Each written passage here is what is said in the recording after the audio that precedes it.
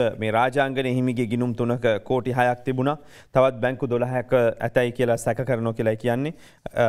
යනු රාජාංගනය සද්ධරතන හිමියන්ගේ බැංකු ගිනුම් තුනක පමණ වසරක කාලයක් රුපියල් කෝටි හයකට අධික මුදලක් තැන්පත් කර තිබෙන බව අනාවරණය වුණයි කියලා අපරාධ පරීක්ෂණ දෙපාර්තමේන්තුව සඳහන් කරනවා.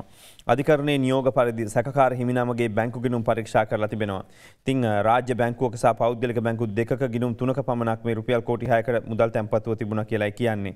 සැකාර හිමිනමගේ ගිනුමේ පවතින බවට සැකකන්න උන්හන්සගේ නමට තියනොය කියල විශ්වාස කරන බැංකු දොලහකින් ගිනුම් තියනො කියල හිතන දොලහකින් වාර්තා කැඳවනෝ කියලා කියන්නේ. ජාතික සංහිදියාව සහගමික සහජීවනයට බාධවනාකාරය කටයුතු කිරීම සඳහා සැකාර හිමිනමට ඇමරිකා වෙංගලන්තය ඇතුළු රටවල් රැසකින් විශාල වශයෙන් මුදල් ලැබී තිබෙන බව පුවත්පතේ සඳහන් කළ තියෙනවා. පුවත්පත එසේ කිය අතරතුර තමයි මේ වෙනුවෙන් පෙනී සිටි අපරාධ පරීක්ෂණ දෙපාර්තමේන්තු නිලධාරීන් සැකකාර හිමිනමගේ බැංකු ගෙනුම්වල කෝටි ගන්න මුදල් තිබෙනවා කියලා සඳහන් කළ තිබෙන්නේ පුවත්පතේ සිරස්සලයා. ඒ වගේම තමයි රාජාංගනයේ සද්දා රතන හිමි විසි එක්වන්ද දක්වා රිමාන් හිමියන්ගේ ගිනුමට වැටුණු කෝටි හයක් ගැන විමර්ශණ කරනවා.